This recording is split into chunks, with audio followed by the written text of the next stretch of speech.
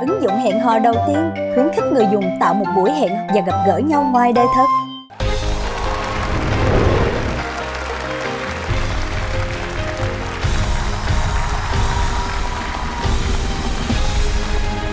Quý vị, mở đầu chương trình thì Yuna cùng với những người bạn của mình là Ngami và Dung đã tạo ra một ngọn lửa thật bừng cháy và nồng nhiệt để tặng chúng ta như một món quà đến với chương trình.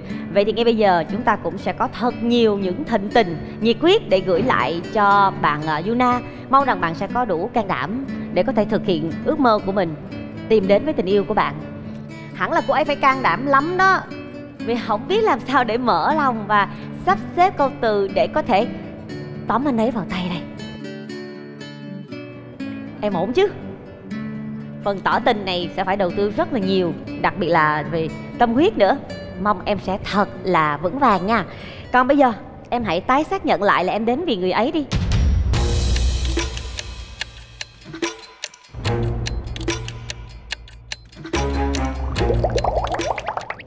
Người này đúng không? Chị đã ghi nhận rồi. Không để mọi người đợi lâu nữa, chúng ta sẽ cùng đến với phần tỏ tình ngược trước và bây giờ, xin mời các bạn chúng ta sẽ có 10 giây để suy nghĩ và thể hiện rung động qua việc sáng đèn để kết nối với Yuna, nếu các bạn cảm thấy nhịp đập của mình thay đổi. 10 9 8 7 6 5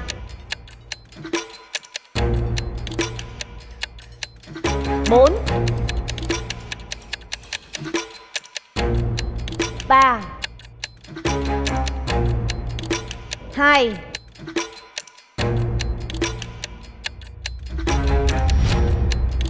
1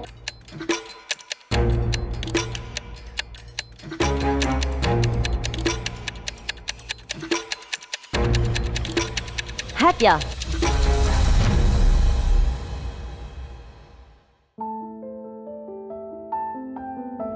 Hoặc là chưa đủ rung động Hoặc là bạn ấy nghĩ Chắc là cô ấy đến đây vì mình rồi Mình có bấm hay không bấm thì chúng ta cũng gặp nhau ở trong kia thôi Và em có thất vọng hay buồn về những chiếc đèn không sáng không? Dạ không ạ à. Vì sao? Ờ... à, em tới đây là có mục đích rồi mà. À, tại sao em phải thất vọng mà? Chị ơi lực uh, muốn nói một điều gì đó. À, em à, lực thực cho ra bạn. thì không cho bấm lên để động viên các thứ nên giờ em giơ tay. À, thực ra thì ờ, thế thì cho chị xin phép mời em lên sân khấu luôn okay. không dạ mời lực chân ạ. Bạn ấy muốn gửi vài lời động viên đến em Ờ, thì ờ, em không biết vì sao lý do gì mà chị tới đây. Nghĩa là ngay từ đầu em nghĩ là Nga Mi tới. Nga Mi sẽ tới đây nhưng mà tại vì em biết chị là một người như thế nào. Nhưng mà để mà đứng được trên đây thì em nghĩ là chị đã phải suy nghĩ rất là nhiều. Thì hy vọng là chị sẽ có một lựa chọn đúng đắn. Lực à em nghĩ bạn ấy đến đây vì ai? Em không chắc ạ em không chắc hay em không biết. Cả hai. Nếu như có thể quay ngược thời gian 10 giây trở lại em có bấm không?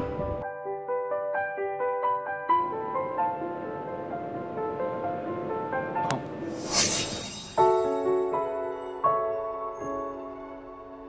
Vậy thì bây giờ chúng ta sẽ cùng với Yuna đến với phần tỏ tình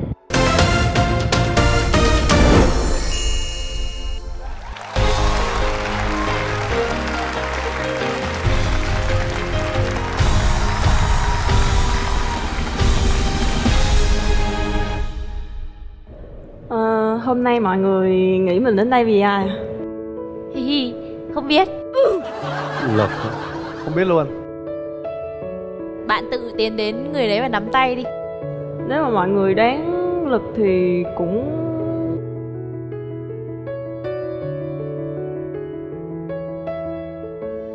đúng rồi tại vì hai người hoạt động chung vũ đoàn mà. Ờ đúng rồi. Hay là em trai em Hải Đăng Đu thực ra tới đây thì không hẳn là để tỏ tình mà mình tới đây muốn tìm một câu trả lời mà mình luôn thắc mắc.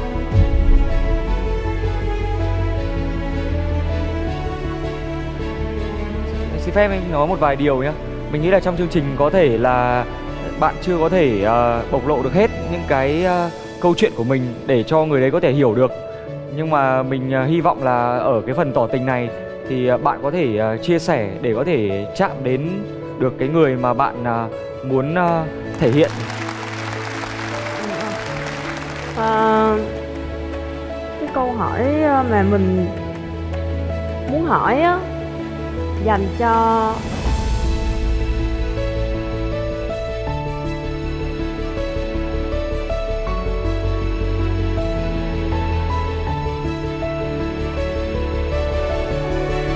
được chưa ờ. Come on boy.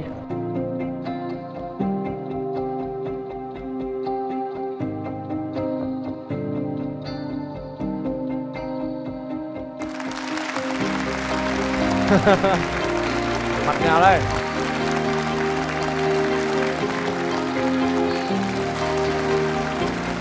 Chị muốn đứng bên nào? Bên này ha chân thành quá. Ờ... em tưởng chị đến đây vì người khác. Tại sao em nghĩ gì ờ, em nghĩ là mình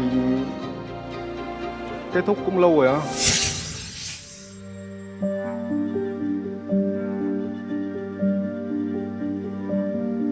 Oh my. Oh my god. Mọi người nghĩ mọi người nghĩ trong một mối quan hệ thì ai nên là người nói chia tay trước thì em nghĩ là thường thì sẽ do cái câu chuyện mà hai người trải qua. Nếu mà câu chuyện đó mà người con trai muốn ra đi thì sẽ là người con trai nói trước. Còn nếu mà người con gái muốn ra đi thì sẽ là người con gái nói trước. Em đã từng quen một người mà em đã nói chia tay uh, trên chục lần rồi. Nhưng mà vẫn uh, không không dứt bỏ được. Em đã quen người đó cũng ờ, khoảng được một thời gian và mới đầu thì rất là vui vẻ. Về sau nó nó có những cái lục đục khá là nhỏ nhặt. Vì cái tính của mình cũng không kìm được nên là mình mình chia tay mình chia tay để cho cái người kia cảm nhận được là là mình chỉ đang giận dỗi thôi. Người đó chỉ cần hiểu một xíu thôi là là là mọi thứ là trở nên bình thường. Nhưng mà có một lần cuối là người đó nói là người đó không muốn quay lại mà muốn uh, chấm dứt hoàn toàn à sau cái lời chia tay đó em vẫn cảm thấy là ủa tại sao mình đã như vậy rồi? Nhưng mà mình vẫn nhận lại những thứ mà kiểu mình mình chưa giải tỏa được hết những cái câu hỏi trong lòng à. Một những câu hỏi lớn nhất mà em chưa có tìm ra giải đáp là gì? Tới giờ em vẫn không hiểu được lý do lý do vì sao lại chia tay à. Và em có nỗ lực để lấy lại tình cảm đó không? Nỗ lực cũng cũng khá nhiều à mà bạn vẫn không trả lời. Ừ. và bạn nó vẫn anh thì anh nghĩ là chắc là nó ở một cái mức là gì đó uh, hết hết hết thương nhau. Em em em không biết là chị vẫn còn thắc mắc những cái câu hỏi đó. Mình chia tay nhau nhiều lần rồi đúng không? Và lần cuối em là người nói chia tay chị. Vì em nhớ những lúc đó em đã nói chia tay chị vì lý do gì không? Nhớ uhm, mình nên vào đây nói chuyện hay là mình sẽ đứng đây ta? À... thôi đi vào đây ha. Ok thầy nhớ nãy cô thầy thầy phán cô có thằng em hai nghìn không hơi sợ Hồi đấy hơi lanh Hả? Ừ, quả đấy anh anh hơi anh hơi anh hơi nhanh nhanh nhanh não quá. Ừ, nhanh não não. anh não. anh cũng không lường được tình Ừ, anh không lường trước thật. anh em mình có ai lường ở đâu Bởi vì hôm nay anh đang chị chị Trinh nhắc anh, anh thấy chị Trinh nhắc anh. nhưng anh cũng không nghĩ là là là trùng ờ em đang buồn cười thôi bởi vì nãy anh bảo thằng em mình tốt lắm ấy. hèn chi lúc mà nãy mà ra nhảy mình nhảy quá trời đâu có nhảy đâu.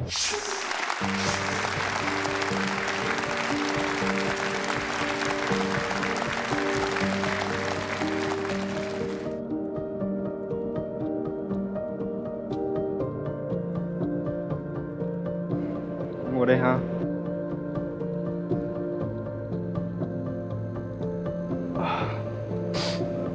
em có bất ngờ không ra thì em bất ngờ vì chị đến đây.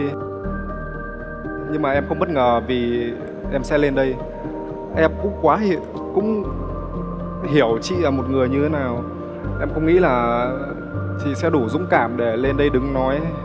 Tại vì em vẫn thấy chị khá là run khi mà ngồi chia sẻ về những từ khóa gì đó.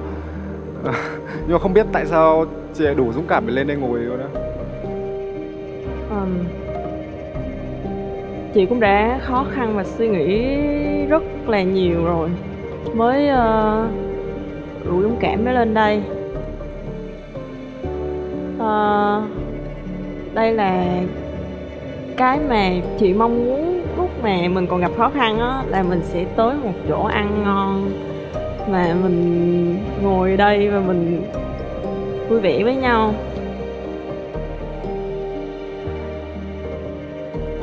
Thật ra ờ, có một tập em quay vào buổi đêm chị đã ờ, vô tình thấy.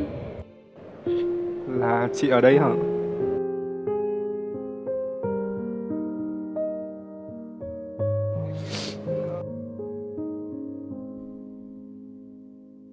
Ờ, em không nghĩ là chị vẫn còn nhớ những cái thứ mà ngày xưa mình từng nói.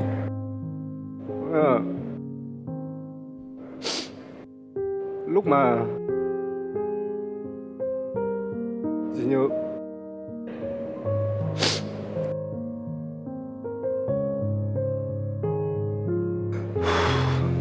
Ok. Chị nhớ cái lúc mà mình mới quen nhau không? Là khi đó đó em đang là một thằng nhóc 19 tuổi còn chị là một cô gái 26 tuổi.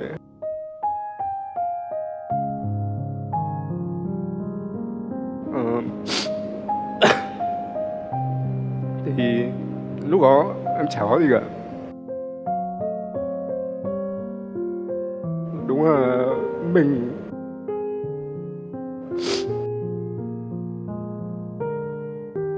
Tôi hứa là sau này mình sẽ đến những nơi sáng trọng.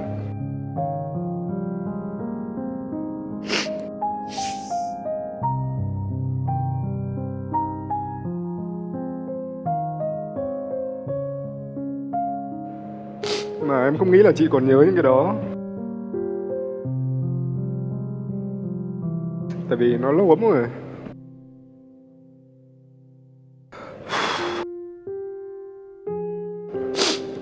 Ờ, Thực ra chị tới đây chị chỉ muốn ờ, để cho chị không còn phải thắc mắc về những gì chị suy nghĩ nữa. Mình gặp nhau, mình hoạt động chung với nhau. Chị ờ, cố gắng tỏ ra bình thường. Ờ, chị không khó chịu với em. Nhưng mà vì trong lòng chị lúc nào cũng luôn thắc mắc những những những về những chuyện đã qua.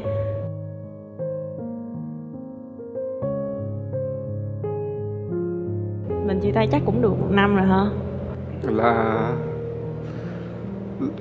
ờ mình chia tay từ, từ đợt dịch cuối cùng đúng không? Là đợt tháng ờ em nhớ là Là tháng 9 ờ đúng đầu tháng 9 ờ em vẫn nhớ tối hôm đó tối hôm đó thì thực ra thì trước đó mình đã không nói chuyện tầm gần một tháng rồi và thực ra thì em nghĩ là trong khoảng thời gian gần một tháng đó thì em nghĩ là thực sự mình đã chia tay trong khoảng thời gian gần một tháng đó rồi. Và trong khoảng gần một tháng đó thì em đang dần làm quen với cuộc sống một mình rồi. Mà em không nghĩ là đến đầu tháng 9 thì chị lại nhắn tin cho em. Em vẫn nhớ tin nhắn chị hỏi em em định thế này đến bao giờ? Thì Ồ, em không biết trả lời sao. Em tưởng là thực sự mình đã chia tay rồi tại vì mình chia tay rất là nhiều lần. Thường thì mình khi mà mình quay lại ấy, mình cũng không có một câu quay lại chính thức nữa.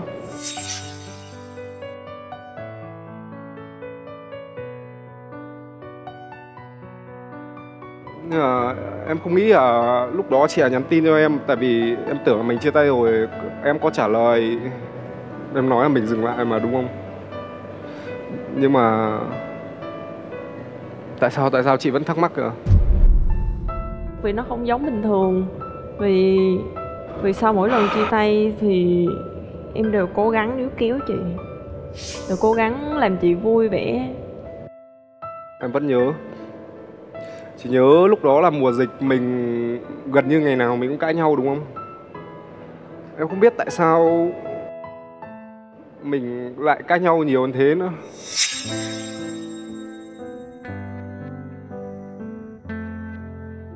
Có quá nhiều thời gian rảnh hay sao? Hay là nhưng mà em cảm giác ngày nào mình cũng cãi nhau á.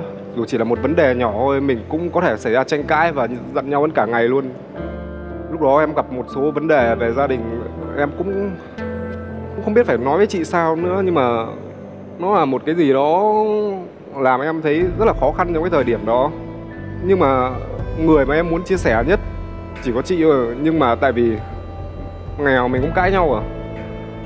Đến một cuộc nói chuyện bình thường của mình cũng rất là khó khăn nữa, kiểu không biết mở lời sao thì thì lúc đó em cảm thấy nản lắm.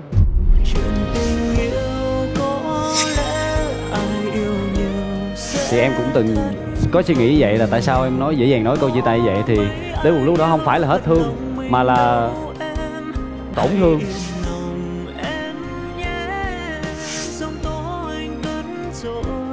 Nếu mà em nói ra với chị một cái lý do đó là vì lý do gia đình thì em tự cảm thấy là cái lý do đó rất là xàm. Đến chị nghe xong chắc chị cũng chả thể tin được, chị nghĩ chỉ là một cái lý do thôi à. và em vẫn nhớ hôm đó chị không tin vào cái việc mình chia tay đó và chị đã chạy sang nhà em vào lúc 12 giờ đêm. Và lúc đấy là đợt dịch. Em không nghĩ là chị vẫn sẽ dám chạy ra ngoài đường và đi một mình trên đường mà không có ai và chị vẫn sang, chạy sang tìm em. Thực sự thì lúc đó em không biết là em có nên mở cổng không nữa. Nhưng mà em vẫn mở cuộc nói chuyện của mình thì chỉ là tại sao lại như thế, tại sao tại sao không có một cái lý do rõ ràng thì em không biết phải trả lời chị sao nữa, nhưng mà em thấy chị hỏi nhiều quá à. xong em nói là em chán rồi nhưng mà chị biết đó không phải là lý do thật mà, đúng không làm tan nát nỗi buồn ngày vì sau khoảng thời gian chia tay không biết em cảm nhận như thế nào. Chứ sau khoảng thời gian đó chị cảm giác rất là tệ.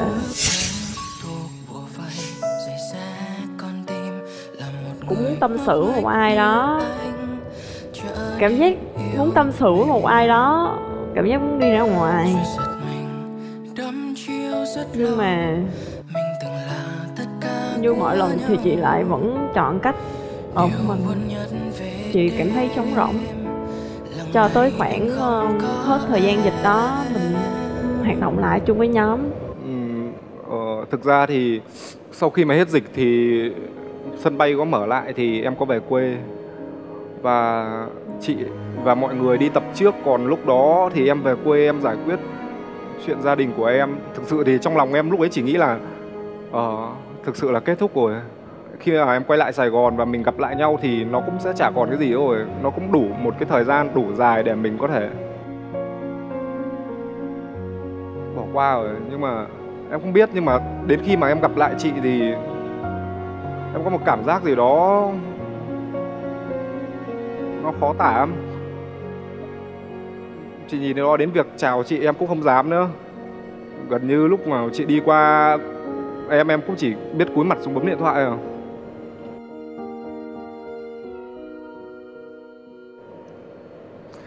Rồi thì thời gian đó nó cứ kéo dài tới tận bây giờ thôi trong thời gian đó em có suy nghĩ gì không? Từ trước đến giờ mình quen nhau á mình chưa bao giờ kết bạn facebook và follow insta nhau cả. Em không biết mọi người quen nhau thì sẽ như thế nào nhưng mà em và chị quen nhau rất là khác thường. Cả em và chị đều không kết bạn facebook với nhau. Đến insta cũng không follow nhau bao giờ. Cái thứ duy nhất mà em có thể nhìn thấy chị hoạt động đó là tiktok và game nữa em cũng không biết tại sao khi mà lần cuối cùng chia tay đó, chị gần như là block em hết từ facebook đến insta, nhưng mà chị vẫn để lại nick game thì em có vào xem chị có hoạt động không? Thì em thấy chị vẫn hoạt động đều. Và kênh tiktok của chị thì em biết là chị là một người rất là lười quay tiktok nhưng mà em không biết tại sao thời gian đó chị lại rất là siêng đăng clip tiktok, rất là quay rất là nhiều clip nhảy. Em không muốn phải cứ tìm tới những cái đó để nhìn thấy xem chị đang làm gì, nhưng mà khoảng thời gian đó thì em luôn ấn vào coi. Nhưng mà em cảm thấy là chị vẫn rất vui vẻ em thấy khi không có em ở đó thì chị sống vẫn rất là, rất rất là tốt. Chị biết không? Cái lúc mà mình quen nhau á, cuộc sống của mình chỉ có đúng hai đứa rồi chị cũng không có chơi cùng nhiều người trong nhóm á. Nhưng mà cái lúc mà chia tay ấy, em thấy mọi người trong nhóm rất là quan tâm chị. Mọi người trêu chị nhiều hơn mọi người quan tâm hỏi han chị nhiều hơn.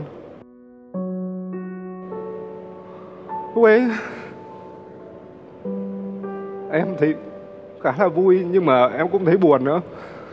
Tại vì em vui vì em thấy chị cười rất là nhiều còn em buồn là không biết tại sao lúc mình quen nhau, mình lại không làm được những cái cảm giác đó.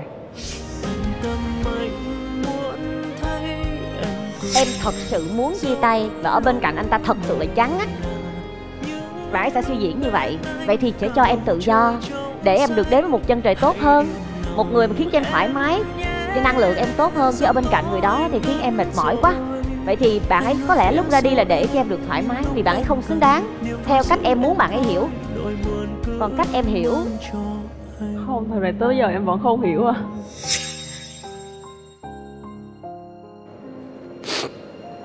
Mình chia tay chắc cũng trên chục lần. Em nghĩ là nhiều hơn. Chắc phải tầm hai ba chục lần gì đó. Tình yêu của mình nó giống như hai đứa học sinh cấp 3 vậy nó không cầu kỳ gì cả. Chỉ là đi tập về, xong về nhà tắm rửa rồi em đón chị ra mini stop ở đầu ngõ nhà chị ngồi. Mình có thể ngồi đến ba bốn tiếng chỉ để ngồi nói chuyện với nhau. Hoặc là những quán nước ép ở Lê Văn Sĩ chỉ còn nhớ những quán đó chứ? Ừ. mình ngồi rất là lâu, mình nói rất là nhiều câu chuyện. Đó là cái khoảng thời gian mà em nghĩ là cả em và chị đều cảm thấy vui nhất.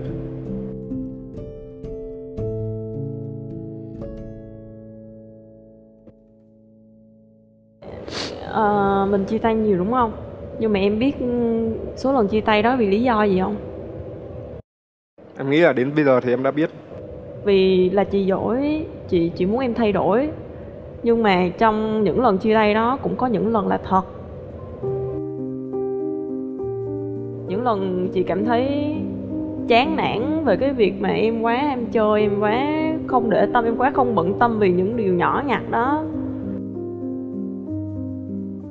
Mình quen nhau nhưng mà chị cảm giác rất là, mình rất là cô đơn á. Mình mình, chị cảm giác giống như là ban đầu em cho chị nhiều sự đồng cảm bao nhiêu thì càng về sau cái người mà chị quen nó rất là xa lạ luôn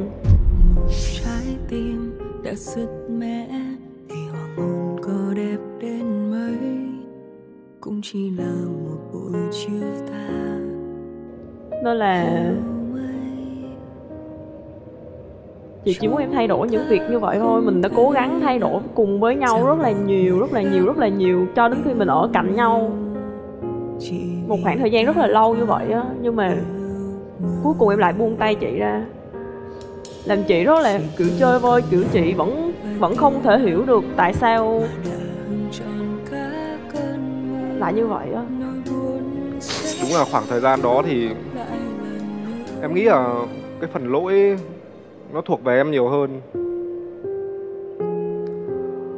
Cái lúc đó thì em không nhận ra điều đó, tại vì em cảm giác là ờ tại sao mình mình đi chơi với bạn bè là chuyện bình thường mà mình chỉ một cái vấn đề nhỏ ấy thôi mà mình cứ cãi nhau về nó rất là nhiều lần.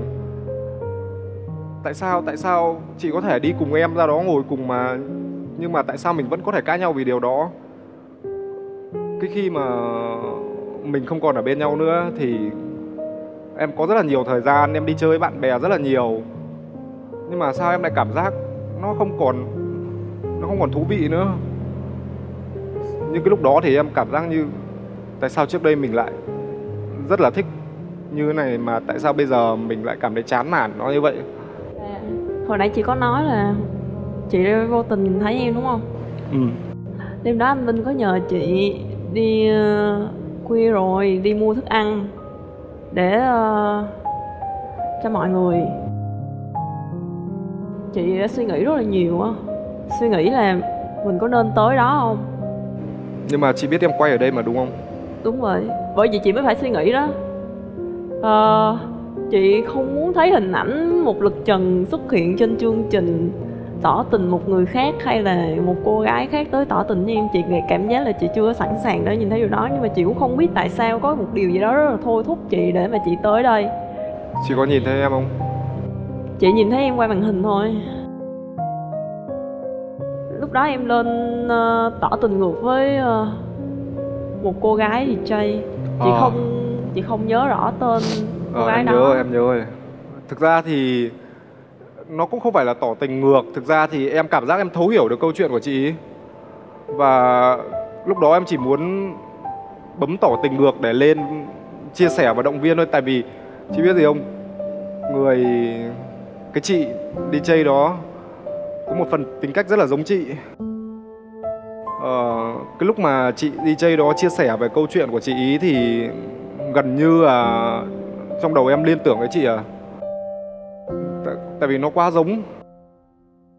Rất giống chị. Hai. Một. Thực ra em lên đây không phải là để tỏ tình với chị mà là em muốn chia sẻ một số điều muốn nói với chị thôi.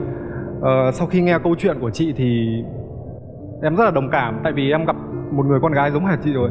Rất là mạnh mẽ rất là thẳng thắn và không biết nói ra cái ý của mình mà chỉ muốn thể hiện hành động thôi.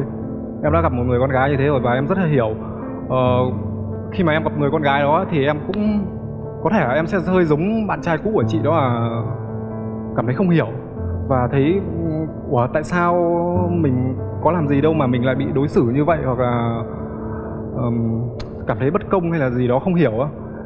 Nhưng mà sau khi sau này thì em suy nghĩ lại và em đặt mình vào cảm xúc của người con gái đó thì em em hiểu điều đó.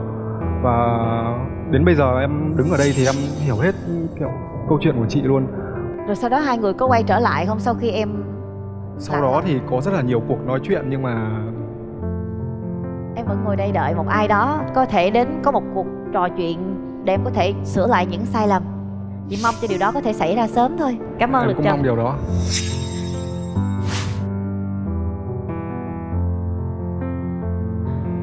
Thôi à, nãy giờ mình ờ, kiểu uh, không gian này trầm lắng quá. Ok. Em muốn chuyển qua kia phải không? Ok.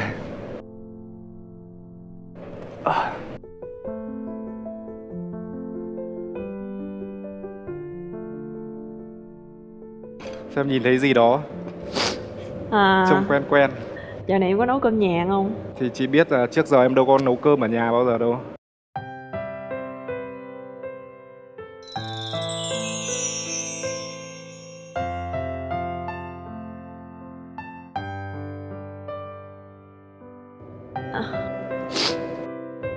thấy cái này có quen không?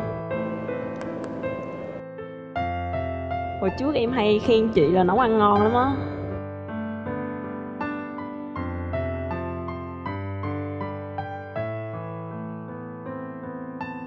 Nhưng mà thiệt sự là chị không biết nó là khen thật hay là khen giỡn nữa.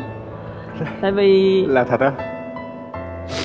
Chị chưa bao giờ nghĩ là chị sẽ nấu cho một ai đó ăn chị cũng chưa bao giờ nghĩ là chị sẽ làm một cái việc gì đó rất là tình cảm như thế này á. Ờ, thật sự nó là chị vẫn còn nhớ hai món này luôn hả?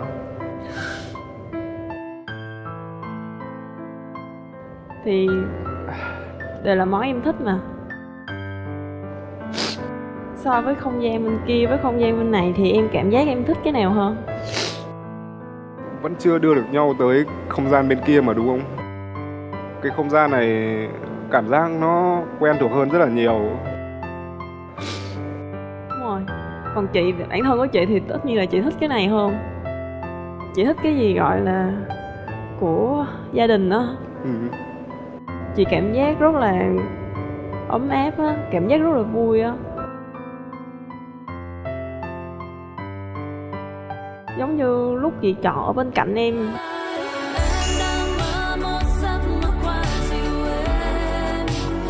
Chị chưa có xác định gì nhiều hết á. Mình xác định với nhau chỉ là ừ mình vui vẻ thôi. Nhưng mà càng về sau rồi chị không hiểu tại sao chị cảm giác rất là thoải mái ở bên cạnh em, cảm giác rất là vui vẻ, cảm giác rất là yên bình. Em cũng muốn ăn thử không? Mình ăn ở đây được không? Nhưng mà chắc chỉ ăn ờ, một hai miếng thôi à tại ăn nhiều mất thời gian của chương trình quá à.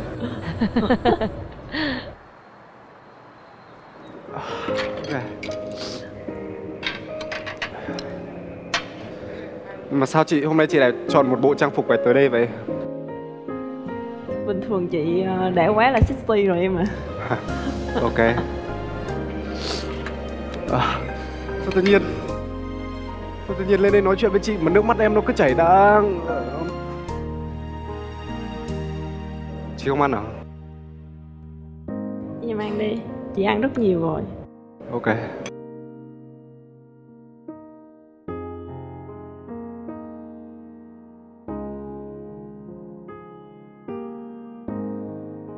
À, sợ rớt nước mũi ở bát cơm quá à.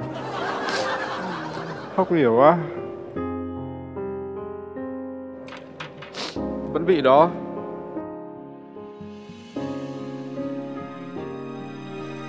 Em nghĩ là em tưởng là chị sẽ không bao giờ nấu cơm thêm một lần nào nữa. Chị cũng nghĩ như vậy nhưng mà lần này tất nhiên là chị muốn một lần nữa nấu cho em ăn. Một lần nữa cho em cảm nhận được cái cái gọi là gia đình á. Gia đình mà chị muốn có gia đình mà chị muốn em cảm nhận được từ chị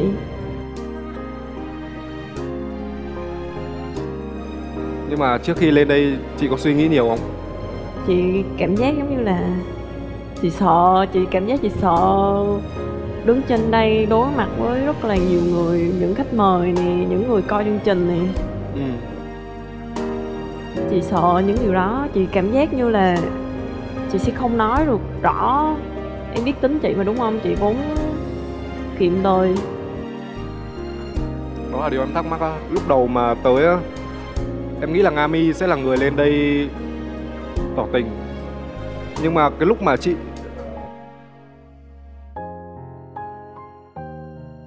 chị nói chị là người, chị là nữ chính tới đây thì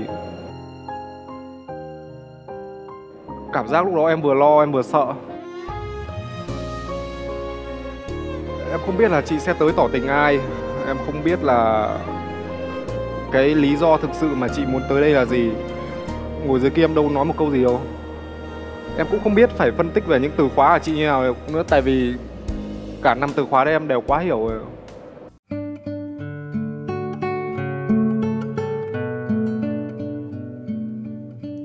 Nhưng mà em cảm thấy đó là một điều rất tốt tại vì chị đã vượt qua cái vùng an toàn của chị để có thể đứng lên đây.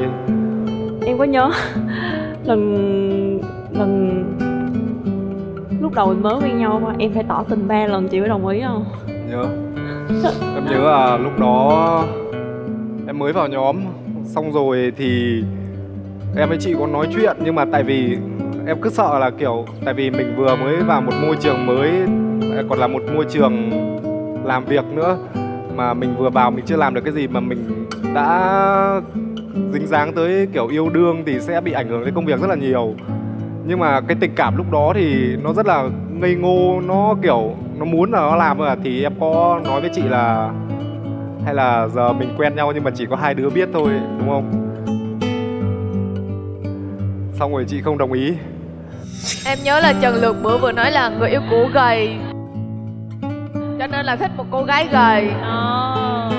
Trần Lực á, Trần Lực là hay nó có về người yêu cũ Lực lắm á. đúng rồi lực vẫn còn nhớ đến một cô gái gầy. Mọi người nhớ kỹ ra đối với mọi người thì ờ, khi bắt đầu một mối quan hệ mọi người có muốn là mình sẽ nói ra một cái câu rõ ràng để mình bắt đầu đi vào mối quan hệ hay không? Hay là mình chỉ cần cả hai ngầm hiểu thôi là đủ rồi ạ? Có. Sao cái này em cảm thấy giống em ấy ta nhưng mà chết như em nói ra em lại nhắc về người yêu cũ mất. Không sao đâu em cái này là nhắc về trải nghiệm thôi. Hồi mới vào Sài Gòn thì em cũng có quen một bạn. Xong rồi lúc đầu thì em có nói bạn ấy là hay là mình quen nhau nhưng mà chỉ hai đứa biết không được không? Tại vì mới vào công việc cũng chưa ổn định các thứ. Thì em muốn là chỉ hai đứa biết thôi nhưng mà bạn ấy đã không đồng ý ạ. Và bạn ấy nói là bạn ấy cảm thấy như thế không an toàn. Em phải tỏ tình đến lần thứ ba và em đồng ý với bạn ấy là em sẽ ờ, cho tất cả mọi người biết. Thì bạn ấy mới đồng ý việc quen em. Em cảm thấy cái câu nói của Nabi nãy rất là giống em. Vào cái giây phút đó em đã sai lầm khi là nói ra câu là, hay là chỉ có hai đứa mình biết thôi, được không? Em lúc ấy em thấy mình hơi hèn nhát một xíu. Nhưng mà chị có nhớ lần cuối cùng mà khi mà chị đồng ý là chị đồng ý em ở đâu không? Chị nhớ là lúc đó chị đang ngồi trên xe. Nhưng mà cái mà để mà chị nhớ nhất đó chính là em đã từ chối tham gia chương trình này. Vì chị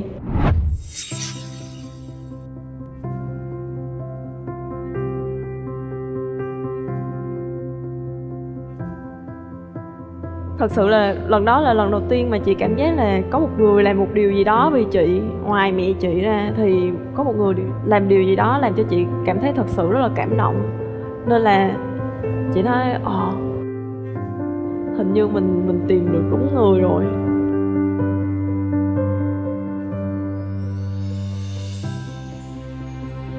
Nên khi mà em nói chuyện với bạn DJ á, em có cảm thấy có lỗi với chị không? Em rất là ít nói. Thường thì em sẽ không nói gì và em sẽ ngồi nghe. Em ngồi nghe từ đầu tới cuối chị nó nói thì em cảm thấy chị đi chơi đó rất là giống chị. Từ tính cách đến cách mà chị mạnh mẽ vượt qua những cái câu chuyện rồi thì cách mà chị đó yêu cũng rất là giống chị. Cái cảm xúc lúc đó nó nó làm mình nhớ lại rất là nhiều thứ nên là em đã bấm nhưng mà em không có dung cảm rung động với bạn ấy. Không phải cái cái chị hỏi không phải là là em rung động. Thật thật ra À, thật là- ra lúc đó là cái khoảng thời gian mình chia tay nhau rồi. Em em có như thế nào thì cái đó là quyền của em. Ý là khi mà nghe những bạn nghe bạn DJ đó nói chuyện như vậy thì em có cảm thấy là em có cảm thấy một phần nào đó em có lỗi với chị trong thời gian đó không? Ừm, chị biết gì không? Cái lúc mà em cảm thấy có lỗi với chị nhất là cái lúc mà em quay trở lại Sài Gòn. Thời gian cũng rất là rảnh. Gặp chị cũng rất là nhiều, gặp trên phòng tập. Nhưng mà em không biết tại sao em không đủ dũng cảm để đứng ra nói chuyện với chị nữa. Em cũng không đủ can đảm để mà có thể bắt đầu một cuộc trò chuyện lại từ đầu hoặc là một cái gì đó nữa em không biết là khi mà cái lúc đó em bắt đầu lại một cuộc trò chuyện thì chị có trả lời không nữa Vì em lên đây tìm kiếm như gì vậy? Em tìm kiếm một người giống chị hả? Hay là tìm kiếm một ai đó để có thể bù đắp lại mà không phải là chị? em nghĩ là mình thực sự đã quên được chị rồi. Em nghĩ là sau một cái khoảng thời gian khá là dài thì những cái mà cảm xúc mà khi gặp chị nó chỉ còn là do mình còn gặp nhau khi mà đi tập. Và em cũng nghĩ là chị đã có một cuộc sống ổn và tốt hơn rất nhiều khi mà không có em bên cạnh rồi. Em nghĩ là em ở bên cạnh chỉ làm chị thấy tiêu cực và vì những cái tuổi trẻ, những cái mà còn rong chơi của em. Lâu nay chị sống ổn không? Chị nghĩ là mọi thứ nó cũng khá ổn. Nhưng mà để mà gặp em mỗi ngày trên phòng tập, nó vẫn còn những cái gì đó rất là, kiểu, khuất mắt ở trong lòng nên là chị muốn lên đây chị hỏi rõ em để chị không còn phải bận tâm, không còn phải gì nữa. Nếu mà nếu mà mình có thể có cơ hội hàn gắn với nhau em cũng muốn làm lại điều đó không? Chuyện đâu đến hồi kết chỉ là tạm quên nhưng vỡ tan tình đâu giữ được hết chỉ là đoạn đường xa xót xa. Lời của anh chỉ nói vậy thôi làm sao chẳng bận tâm mà quên mất tôi? Chuyện đâu đến hồi đêm qua em có xem được một clip tiktok, em không biết đấy có phải là một thông điệp vũ trụ, kiểu, gửi tới cho mình không, nhưng mà em có like lại clip đó. Clip đó thì ghi là, tại sao chúng ta không đi tìm cảm xúc mới cùng người cũ, mà lại luôn đi tìm người mới để tìm lại cảm xúc cũ? Lúc đó là tầm 3 giờ đêm rồi em không biết, nhưng mà ba dòng đó nó khiến em không thể lướt qua cái clip đó được.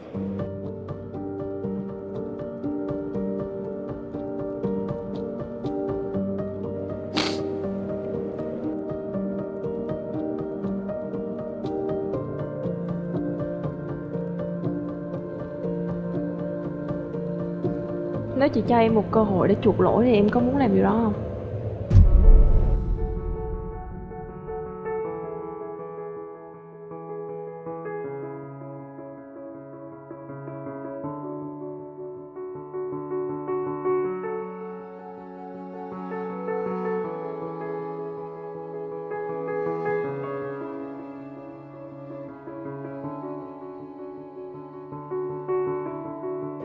Em còn một cơ hội nữa.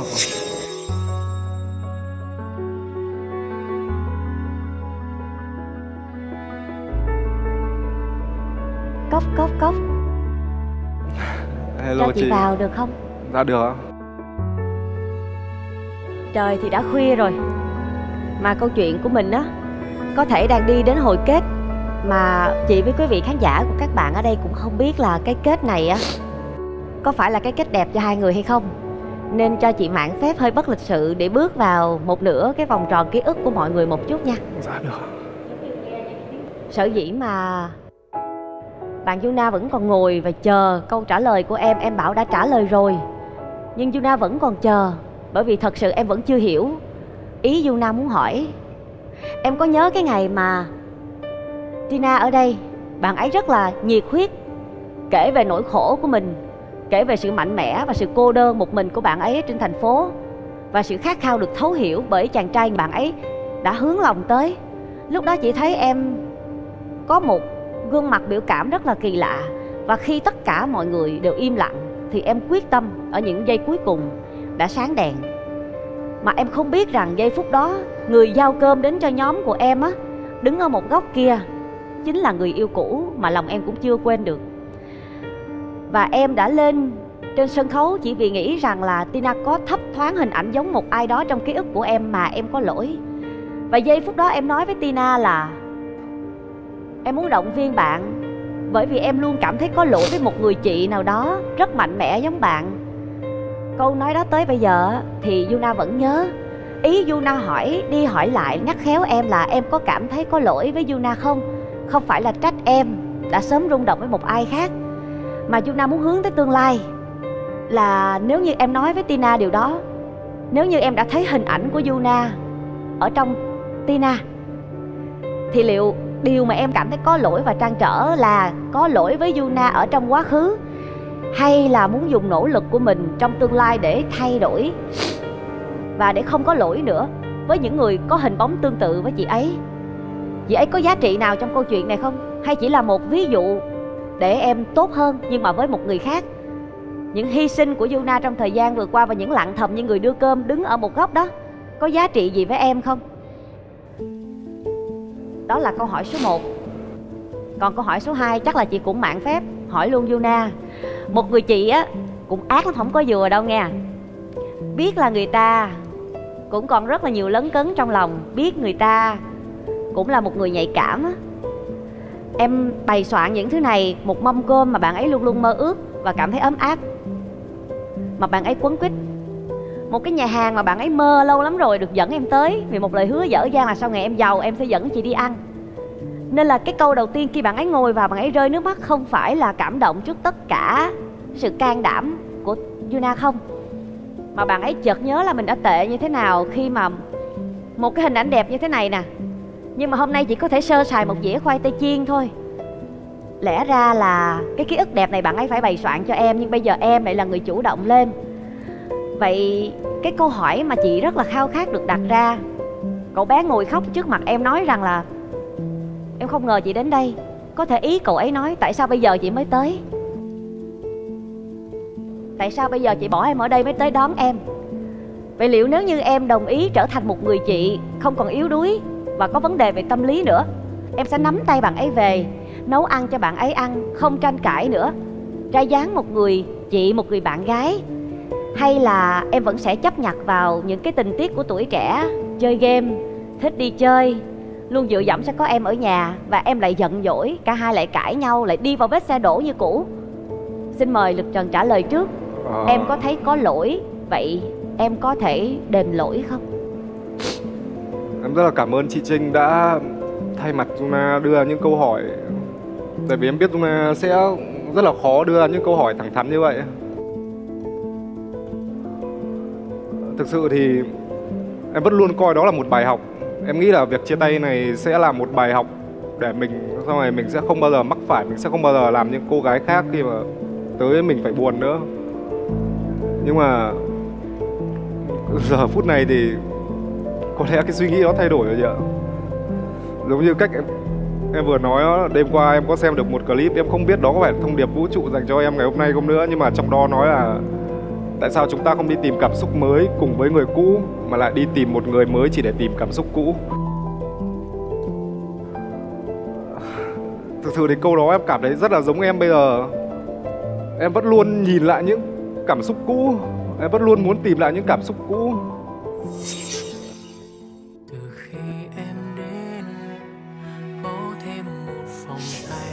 Thật ra chị tới đây chị chỉ muốn uh, để cho chị không còn phải thắc mắc về những gì chị suy nghĩ nữa.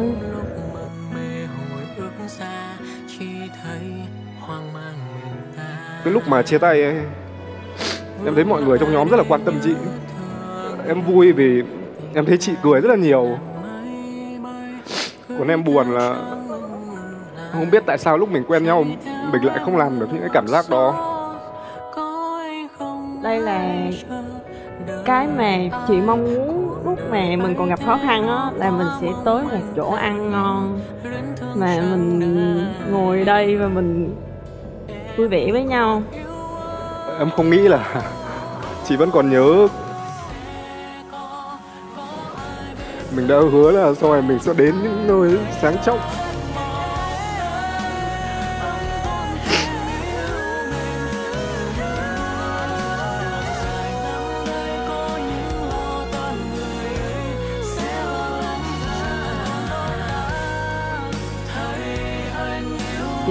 Giờ nghĩ là chị sẽ nấu cho một ai đó ăn.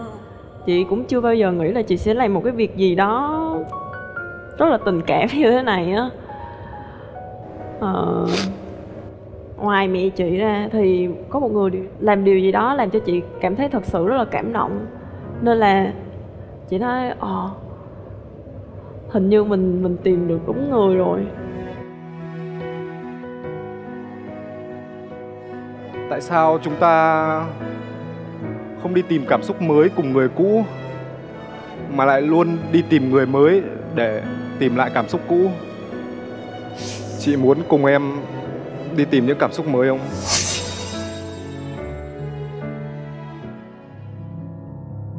Em có thể có một cơ hội để sửa lại những lỗi sai của mình không?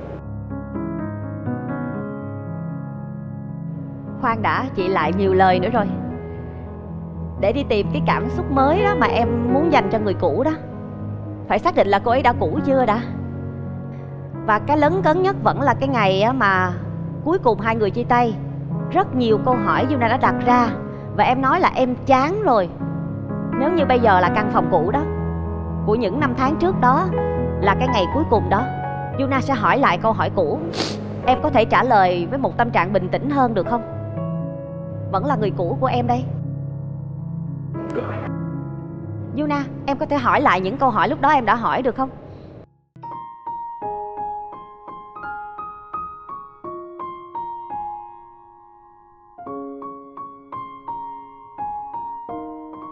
Lý do tại sao vậy? À, em nói không như mọi lần. Anh xin lỗi. Anh xin lỗi vì một tháng vừa qua mình đã không nói chuyện với nhau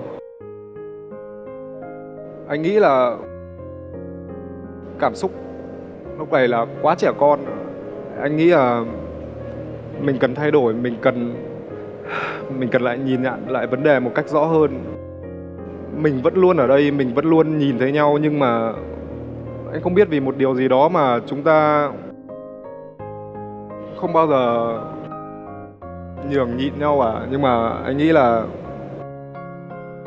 sau ngày hôm nay anh sẽ là người thay đổi điều đó.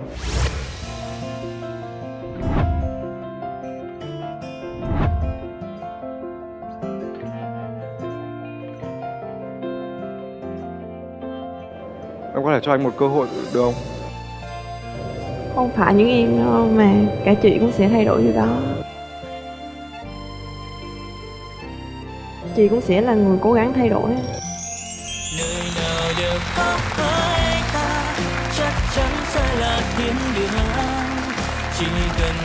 Ở bên em, anh bất chấp cho dù đâu. Đổi lại những phút vô tư cho em. Hy sinh anh không là vô nghĩa. Yêu cho anh vô tư thôi, đừng vô tâm.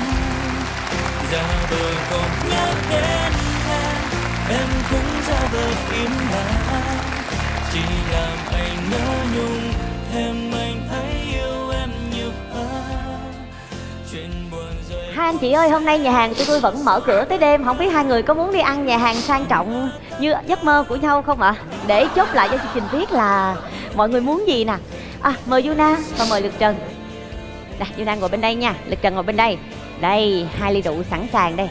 Ôi, thế hai anh chị nào bữa cãi nhau căng quá. Bây giờ ổn chưa ạ?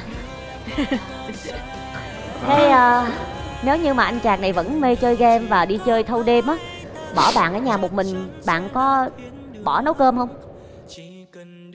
người đó phải là người chủ động thay đổi những điều đó chứ đúng không? Em sẽ thay đổi những điều đó đúng không?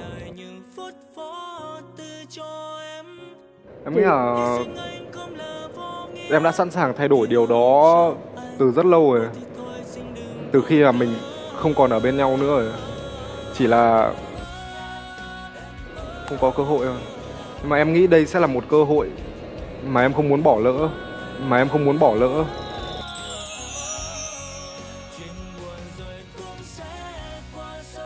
Chị hy vọng niềm tin lần này của chị sẽ đúng.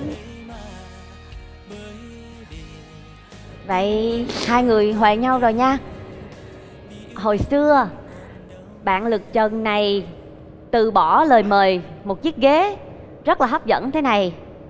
Vì một người chị hơn mình 7 tuổi. Và lần này vì cái người chị đó Mà bạn một lần nữa Lại từ bỏ chiếc ghế này. Cả hai lần có vẻ giống nhau nhưng lại rất khác nhau.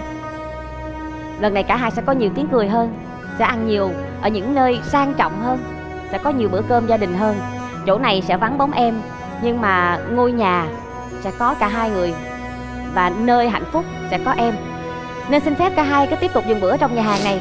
Chị sẽ bước ra khỏi giấc mơ của hai người Và hai người sẽ tiếp tục giấc mơ này bao lâu tùy thích. Trong những ngày sau nữa Chúc Lực Trần và Yuna hạnh phúc. Cảm ơn chị.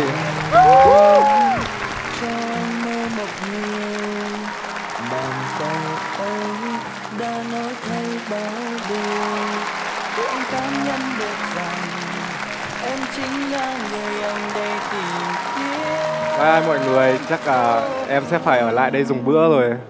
Bye bye. Bye bye anh em. Bye bye. Bye bye em.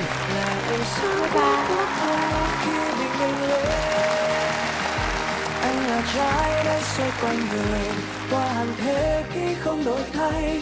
Lặng lẽ đưa gió mây nào anh em chúng ta lên để tạm biệt lực trần và yuna nhé. Lên ăn à lên ăn à lên ăn chung nhá. Ôi chị ơi, lên ăn thôi tạm biệt nha. Kia được không? Người chẳng cần kiếm chi ở đâu xa? Đã ở ngay trước mắt anh đây là cả thế gian vũ trụ hoàn mỹ.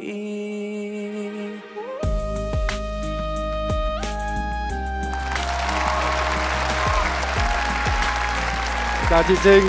Chào em lực mọi người sẽ nhớ em lắm đó. Em không chào tôi à? Xin vía xin vía nào mọi người xin vía nào. Bye ông bye bye mọi người sẽ nhớ ông ấy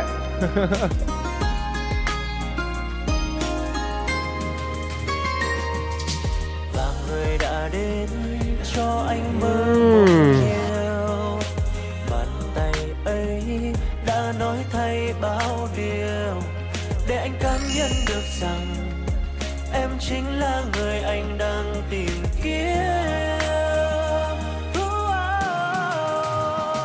Em là ai? Ai rồi cũng sẽ rời đi với một cái cách chỉ có tôi là ở lại mà thôi.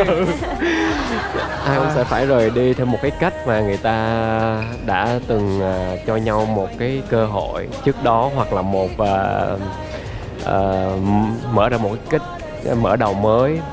Ừ, Dạ. ý em nói rất là giống khán giả nói. Dạ. chương trình này á chỉ mở ra cho những người yêu cũ tới tìm lại à, những anh chàng ngồi ở đây thôi. Chị thấy á nó có lý và nó cũng chưa có lý. Bởi vì cũng có rất nhiều người đã từng có mối liên hệ giống như là trần vân với à, một bạn cũng đã đến đây, đúng không? Bạn ở trong bước nhảy luôn. Họ cũng đã từng có một cái mối nhân duyên, nhưng mà họ lại không tìm được sự rung động nữa, thì họ lại phải tạm biệt nhau. Chương trình không đem những người cũ lên để họ kết nối với nhau. Giống như cách chúng ta đến đây và vì chúng ta sợ nên chúng ta từ chối. Mà cái chúng ta sợ không phải là sợ người mà chúng ta đang chuẩn bị hẹn hò mà chúng ta thường sợ những cái sự cãi vã. Chúng ta sợ là sẽ chán ghét nhau. Ở đây lượt trần có thể vẫn còn sợ, nhưng mà anh ấy đó có một thứ lớn hơn. Đó là niềm tin cả hai sẽ vẫn còn những giọt nước mắt đó cho nhau, sẽ còn sự rung động đó. Giống như là năng lượng của vũ trụ đã gửi cho lực trần vậy đó mọi người. Tại sao tụi mình cứ phải đi tìm những cảm xúc mới mẻ ở bên những người mới, mà tại sao chúng ta không đem những cảm giác mới mẻ đó đến cho những người cũ? Và họ phải luôn luôn mới trong mắt của chúng ta, thì sao không bao giờ có những vụ ngoại tình diễn ra? Vì người ở bên cạnh mình lúc nào cũng là người khiến cho mình cảm thấy thao thức. Hãy quan tâm tới nhau nhiều hơn nhé. Như cách mà Yuna và Lực Trần đã tìm lại nhau trong đêm nay. Từ những bữa cơm rất là nhỏ, từ việc hạ giọng xuống khi có những căng thẳng, từ việc là chúng ta biết người kia đang rất cô đơn và cần một người ở bên cạnh, chỉ ở bên cạnh thôi. Và chúng ta cũng rất rất rất cần một người có thể hiểu và hỏi mình là lý do tại sao vậy? Mà không cần phải hét vào mặt nhau là bởi vì tôi chán lắm rồi. Thì ra chúng ta không chán nhau. Chúng ta chỉ chán những khoảng thời gian kém chất lượng khi ở bên cạnh nhau mà thôi. Vậy thì làm cho nó chất lượng lên, tại sao phải bỏ nhau chứ?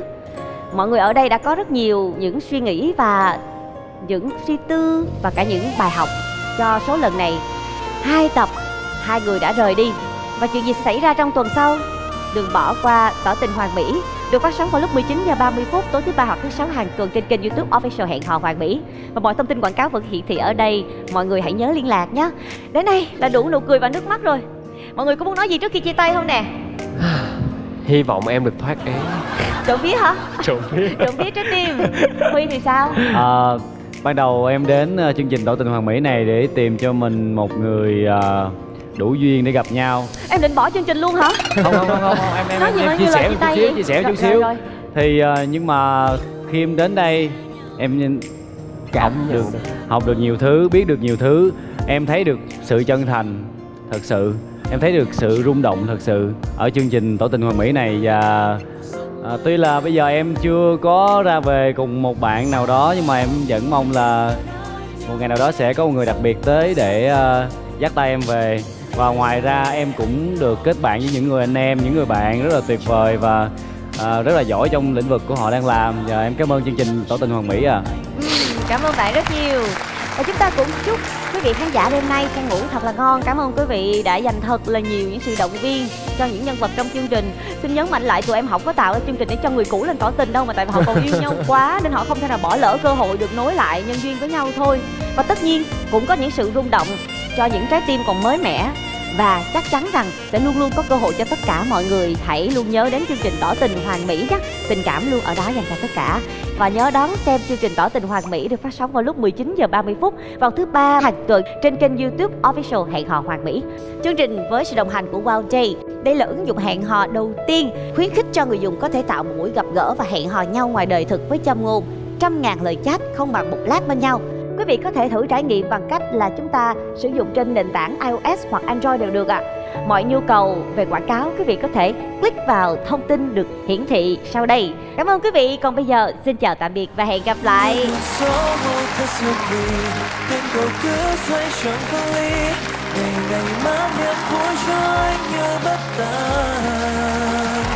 Nơi nào có em sẽ là nhà Chẳng cần kiếm chi ở đâu ra